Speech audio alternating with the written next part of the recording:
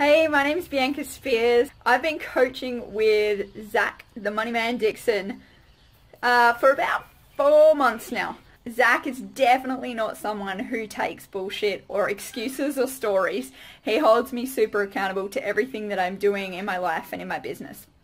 So in the first month that I was working with Zac, I no longer needed the job that I'd started to apply for uh, I went from $27 in the bank to having a little bit of money come through, investing with Zac, and then going into 5k in sales in my first week coaching with Zac, 5k in sales the next week, 10k in sales, I don't even have the hands for it, 10k in sales the week after, and another 5k the week after there.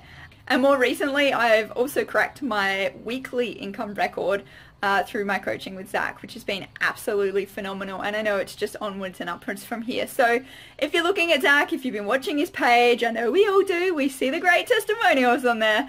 Um, he really is an amazing coach on so many levels. He holds you accountable, he whoops your ass, but he also has so much care and compassion for the clients that he works with.